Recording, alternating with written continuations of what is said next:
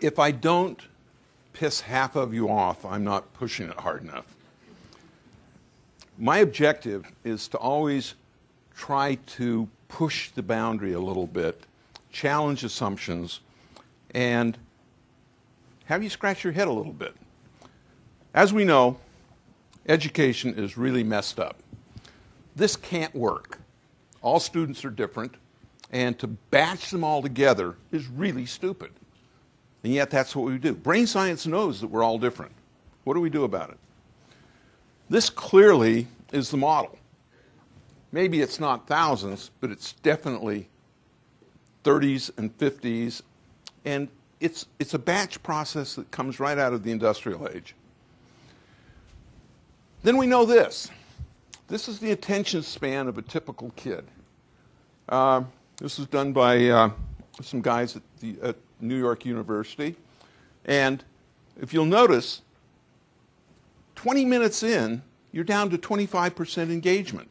That means that everything that's above the line is a total waste of time. The teacher is wasting their time, the kids are wasting their time. So, this is not the solution. And, you know, teacher in a box isn't the way to do it. What we really want to be able to do is change the paradigm. We have another big problem. Yeah. Have you ever seen this before? Homes are always a good investment, easy loans to the masses, no moral hazard in the decisions because the government guaranteed it. Now we have college degrees always you more money, easy loans to kids, which used to be illegal until you were 21, no moral hazard decisions.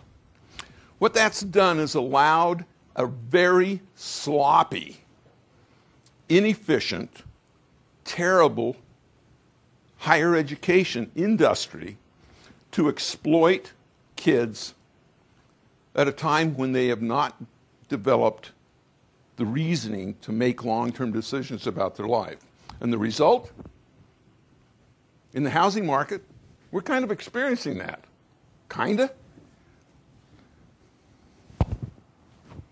Indentured servitude. And that's real, guys. Turns out that 40% of college graduates in 2008, before the recession, only 40% were engaged in occupations that used their degree. If you take out the hard sciences and teaching, it's down to 17%. So all the rest of the kids had an 80% chance of wasting the fifty to $100,000 of student loans that they put in. The net result this is what we call an indenture. You used to could, for a better life, go into indenture, they'd lend you the money, and you had to basically be a, a slave for seven years. This is another one. This was outlawed 200 years ago for adults. And now we've got 18, 19, 20 year olds that are getting into debt that is unsustainable. And we really, I, I believe it's toxic and wrong. And they're talking right now about upping the interest rate to 6%. So 6% of $100,000 is all of a sudden a double house payment. That's wrong. The premise is wrong also. Everyone should not, should not go to college. Some should, but a lot of people shouldn't.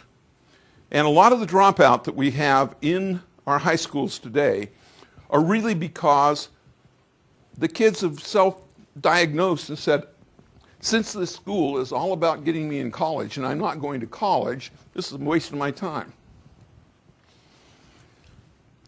Here's the real question everyone should get the job skills that they want or that society wants. I'm not going to answer that here, but until we answer that question properly, we're not going to be able to fix our school system. It also needs to be as cheaply delivered as possible. That means we've got to get the inefficiency out. And that means a total redesign. Computers do not help industries until they redesigned their workflow. Schools have resisted it, and now they need to. Another big shift. Before credentials were important, a degree, an authorization, an MBA, what have you. It's moving slowly to experience, and it's going to end up at merit. And merit is the ultimate arbiter. At Atari, we hired for, for enthusiasm.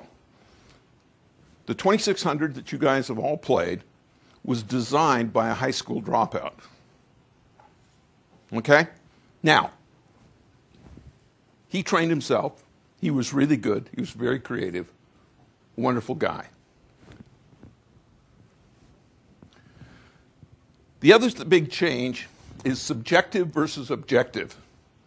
Right now, most of the grades that everybody gets tend to be more subjective.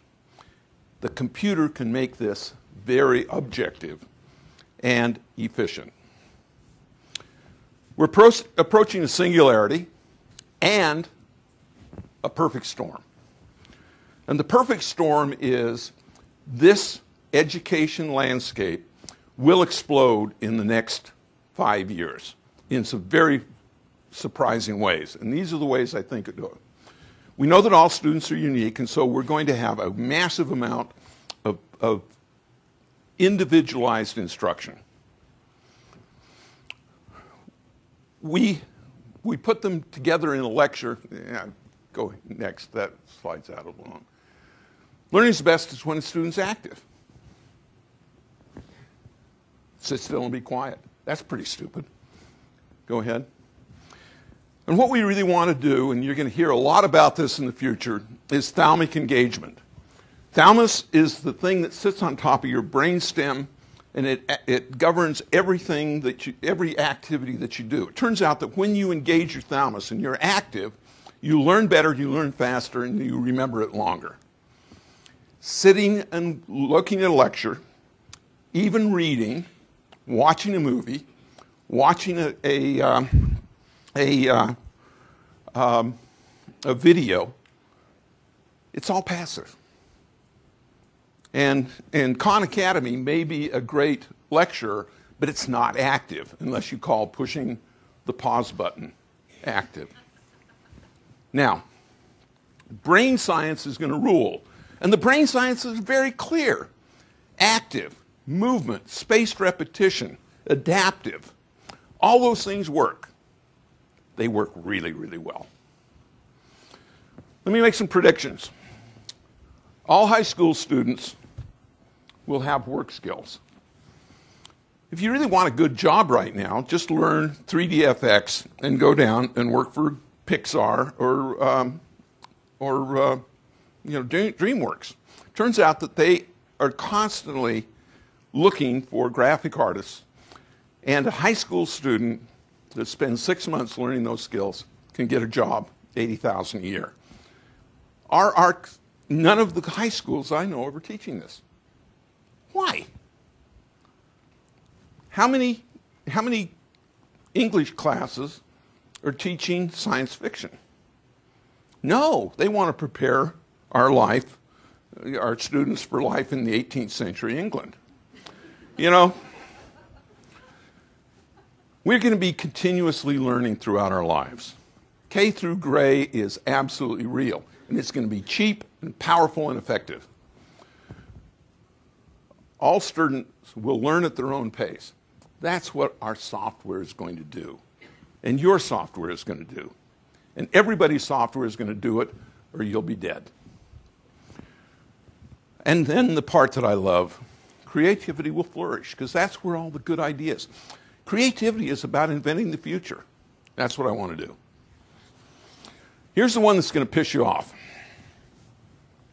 By 2018, there will be zero dollars, this is a public school, for textbooks. Zero. There will be zero dollars for learning software. Now, I probably torpedoed an awful lot of business models right there. But I think that the schools will be willing to pay for results. Very different. Understand that there is difference between teaching and learning. And if you're not focusing on learning and results, you're toast. Labor will be much more efficient because, oh,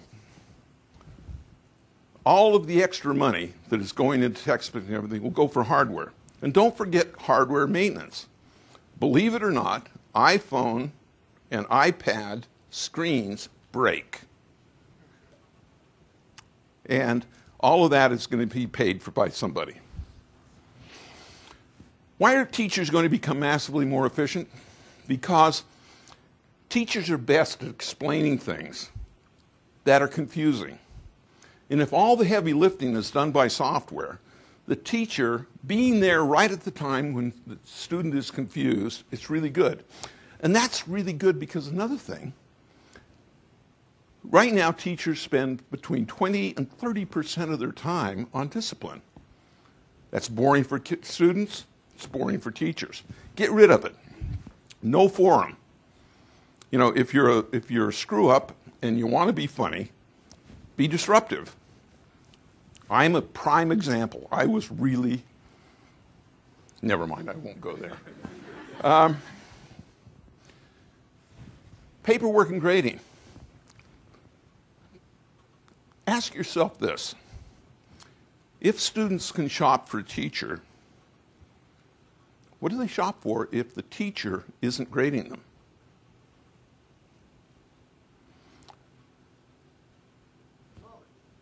Bingo.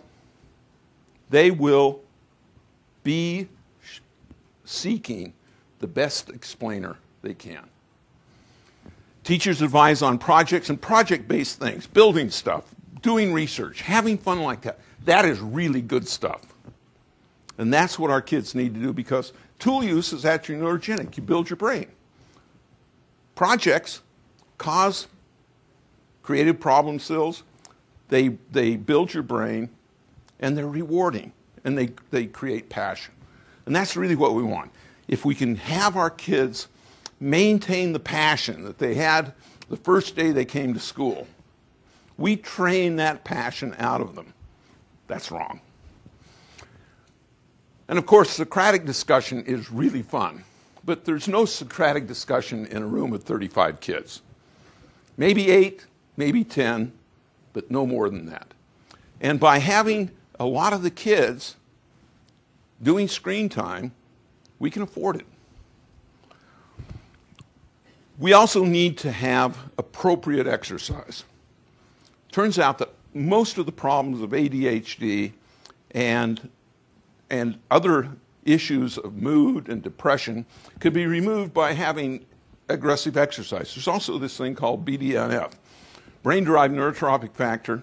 If you exercise aggressively for 20 minutes at the beginning of the day, everything you learn will be put into a little bit of hardware in your brain.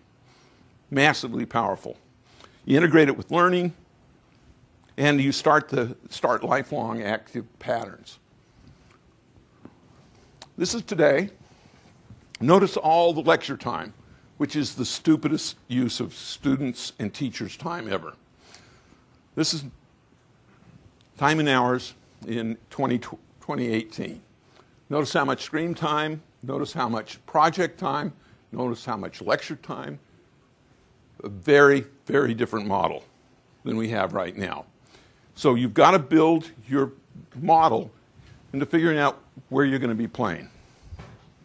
This is a little bit more detailed. I actually put in 2015. This is how it'll go. Notice how much time one to one happens in 2018. Some people believe it may go up to a half an hour. This is going to depend a little bit on, on budgets because that's clearly going to be a lot of where the teachers spend their time. Okay. Let me, excuse me. Let me talk a little bit about resistance change. This is basically a differential equation, and what you really want to be able to do is if you resist change too much and have too fast a fall time, you will always have overshoot. That's destructive. That's where things break up and blow. Let me talk about the education market. I'm running out of time. Am I going? Okay. 5% of the world's GDP in general is focused on education. No matter how poor the country, they tend to spend 5% of GDP. That's over a trillion dollars in the US alone. The current system is massively inefficient. We are getting so little for that trillion dollars, it's remarkable. And, and the thing about it is, help is on the way, and you guys are doing it. Um, the change is very restrictive, and we have the perfect storm. It's a combination of the hardware being available and cheap, networks being available and cheap, the cloud being there and available.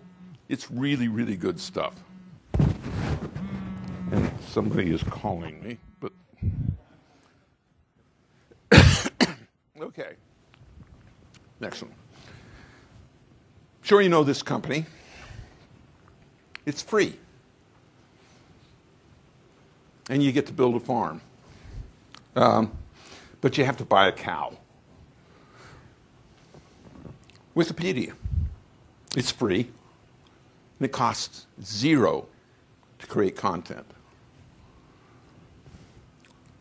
This is the pent up demand for supplemental education.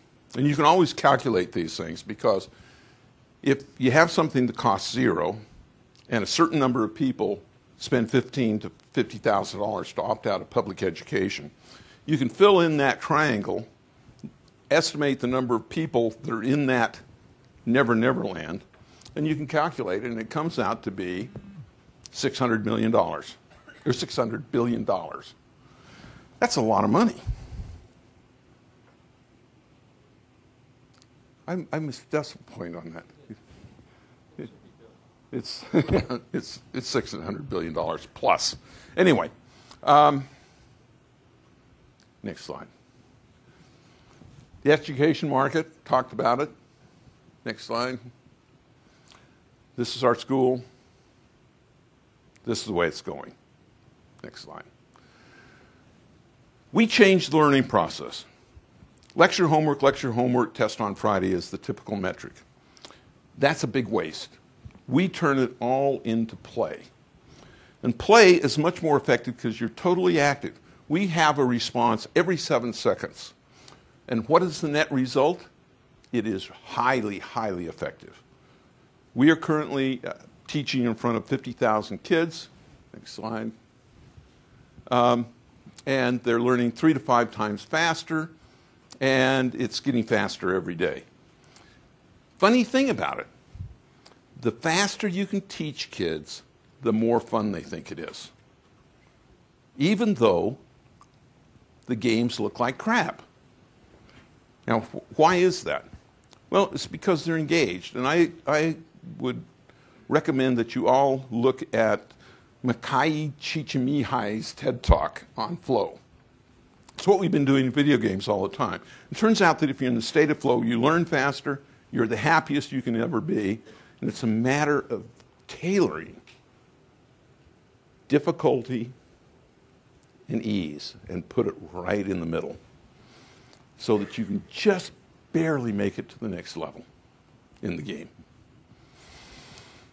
The BrainRush platform, we're doing all kinds of things in terms of, of various items. Our, our alpha test has been in Spanish language, and we, we have kids now that are, have learned Spanish vocabulary 10 times faster than their peers. You know, and now we'd like to do a little bit of a, of a demo to show you what it is. And what it is, it's really about spaced repetition. This is where, anybody know where Suriname is? Well, you will now. Uh, and essentially, what you do, go ahead. Okay. So can we flipped over to me here? So I'm just going to give a quick demo of BrainRush and some of the ideas behind it. So what we're building is a online community uh, of supplemental lessons. So supplemental lessons meaning that they're a perfect supplement complementary to all the existing curriculum as well as what teachers are doing. The idea here is that every lesson is a mini game that takes the typical student 10 or 15 minutes of play to master, um, and that the games can be across a lot of different platforms. What I'd like to do is just show you one game and tell you a few things about some of the unique features of the way these games are designed. So here's a game for students to learn the names of the countries in South America. Um, in this case, w- when they first get in, they can kind of just roll over and see the names of the countries, Brazil. click and hear how the country is. But the real power is in learning. You learn through play. And the way you learn through play is you just click play. No, you don't really need instructions. You immediately get in, and you're immediately being required to guess which one of these is correct. You've got a very short period of time to respond. You respond, you start guessing. Every now and then, you guess right.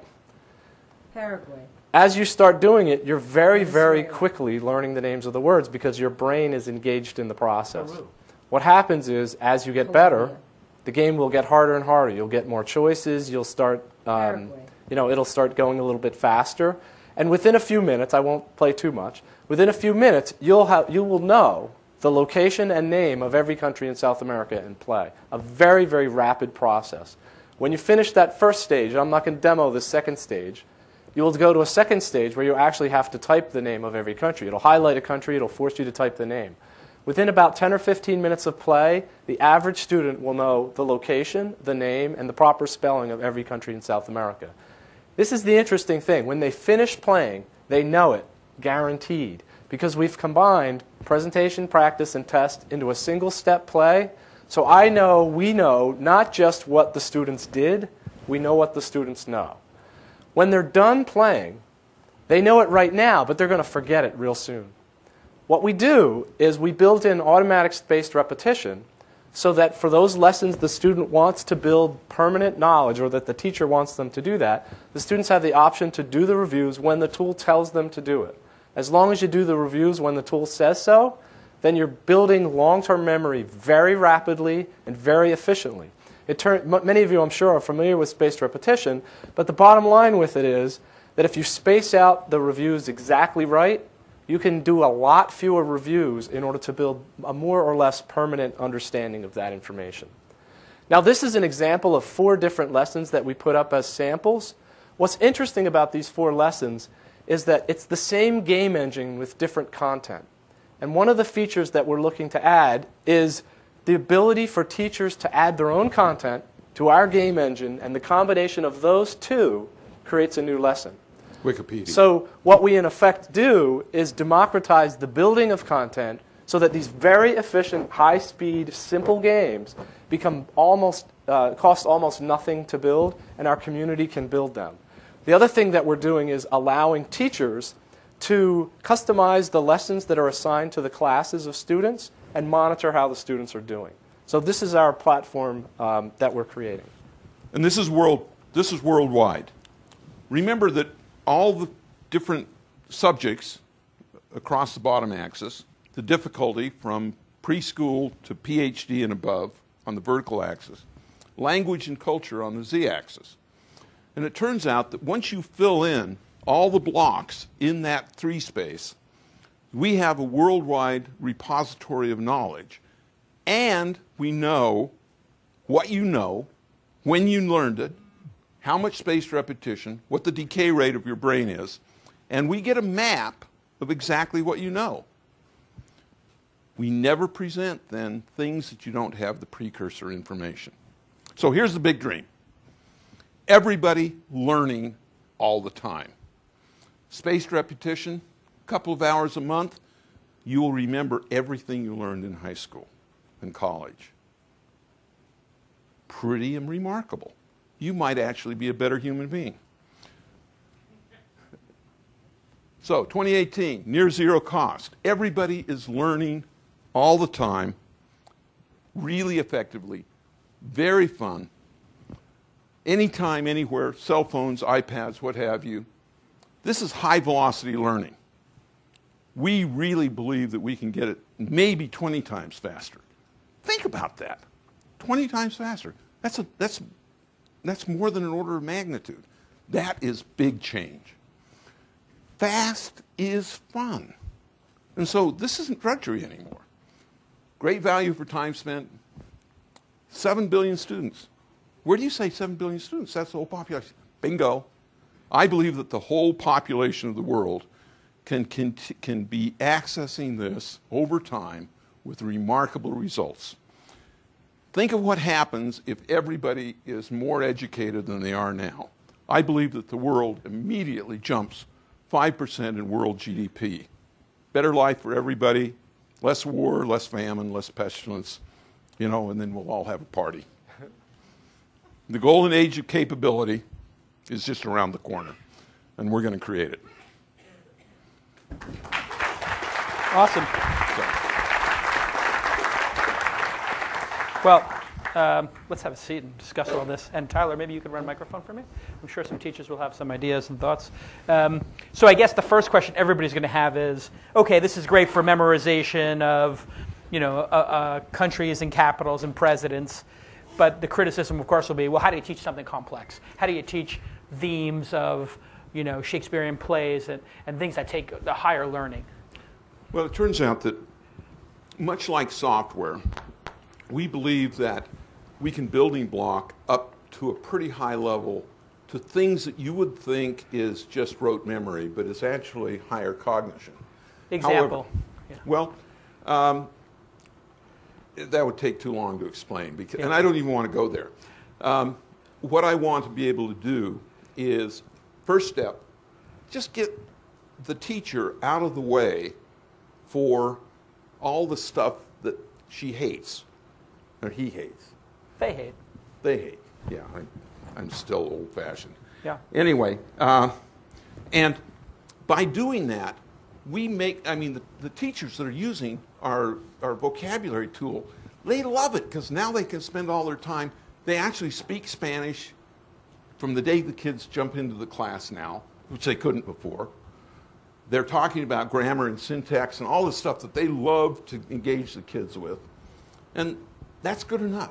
Right. And we believe, I mean, you know, think about biology. Not, you know, that's all space, spaced repetition, things like that. But then we have designs for set engines where the relationship between objects are important. We have a sequence engine where the order of things are important. These are getting very close to the higher cognitive values. Then we have a Boolean engine. Now, Boolean is a fancy word for learning rules and learning rules that help cognition. You can learn those, and once you do that, all of a sudden you can operate those rules on data sets and information. And you're getting damn close there. But, you know, hey. But even if you just get this first third or half done, that leaves the teacher for all that one-on-one time, exercise, and projects. Right. So you said um, that one of the things that struck me was uh, no money for textbooks, no money for software, pay for performance.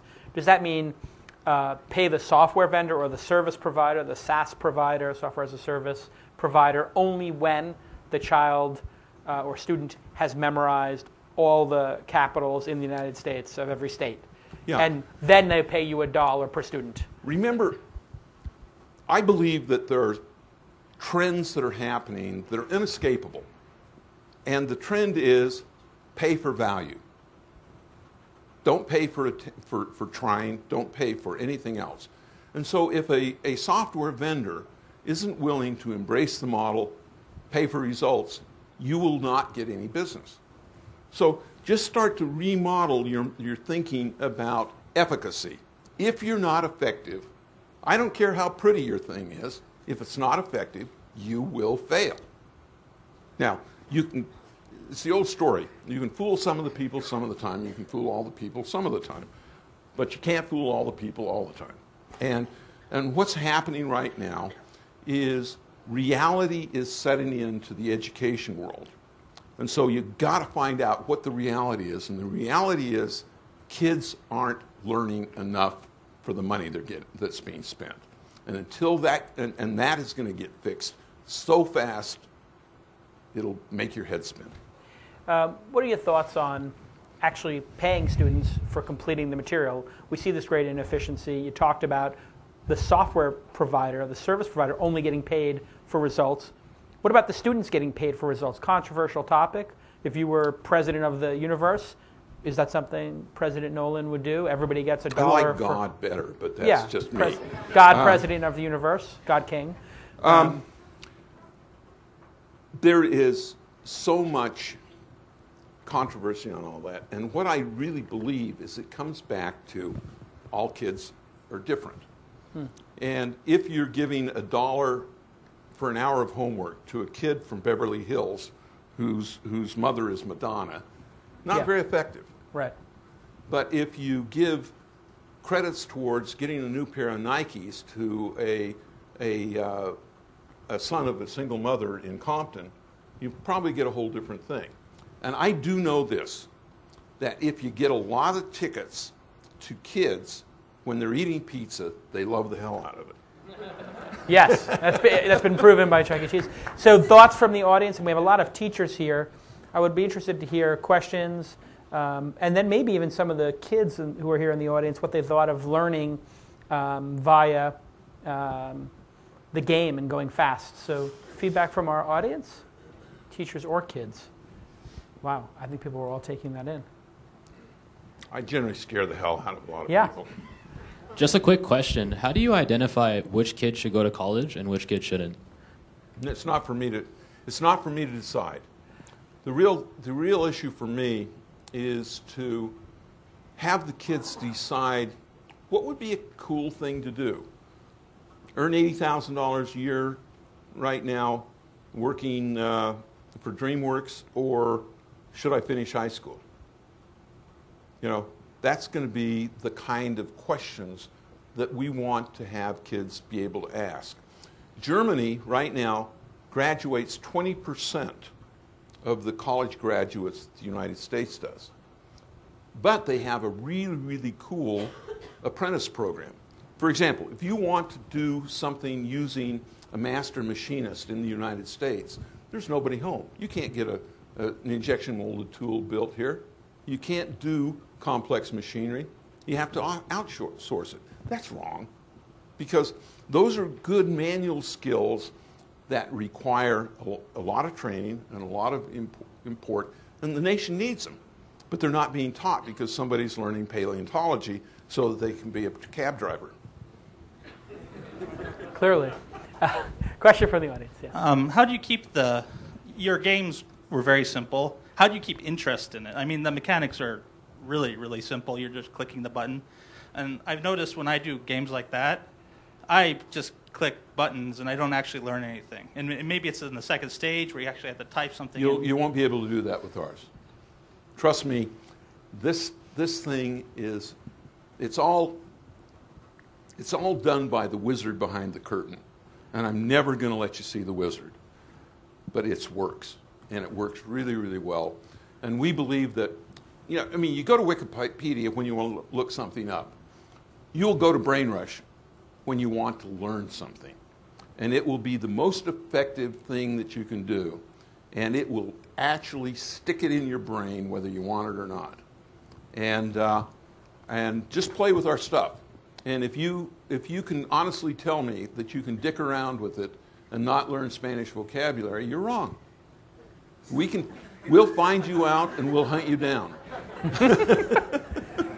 Another question from the, oh, another question back there, okay. And then we'll take one here and then one back there, okay. So uh, question up here first, Yeah, and who great. are you, what do you do? Uh, my name is Mario, and I'm a founder of a startup. Okay, Uh, Speak a little more. Yeah, hi, my name is Mario, and I'm a founder of a startup. Um, I think it's a great uh, thing you're building. We were actually talking at lunch about how something like this is needed. Um, one thing I was wondering, and it sort of um, came from uh, Marshall Tuck's talk yesterday about making sure that the tools we build um, serve everybody and include, for example, students in special education. So, um, particularly those students who are most at risk. So, how could your tool, or have you been thinking about how you make your tool accessible to students with visual impairments or physical disabilities who already struggle with the, the current technology? So, the new ones that we're building really need to be thought at the onset of being usable. And autism and ADHD and all this stuff. Oh, Yeah. autism, ADHD, love our shit. But um, our stuff, There are kids here. our wonderful, We have kids in the pristine, audience. wonderful thing. I'm sorry Sugar. about that. Sugar. I train my children to appreciate profanity, but that's another thing. Uh, it turns Use out it judiciously. it turns out that we have um, we we think that we are very good at the one sigma kids. We're also good at the two and the three sigma kids when it comes to learning and learning disabilities. because spaced repetition is effective across the board. And so we think we're, we're really good there. When it comes to things um, like, like physical handicaps and things like that, we think we can adapt to it.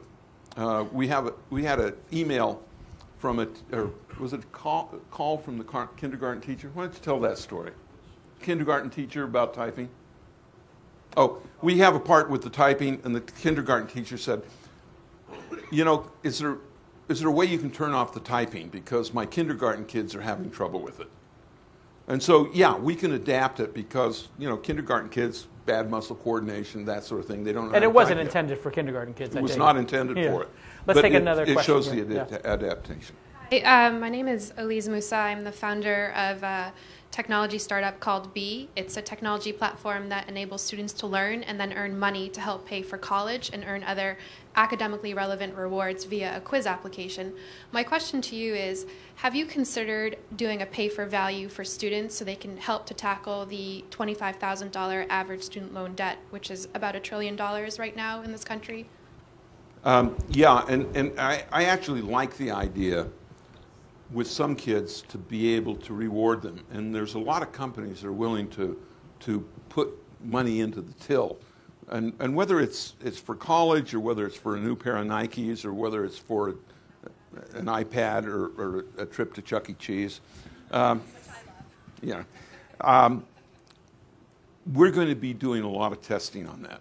And one of the things that we really like, since we know when you know it, we can do all kinds of stuff. Like, for example, how, what time of day was it when you learned this? Did you learn? Do you learn faster in the morning or in the afternoon? Do you learn faster if you have a high protein breakfast? Do you learn better if you've exercised aggressively? We think we can answer more questions about education in the next five years than all of education research before has happened.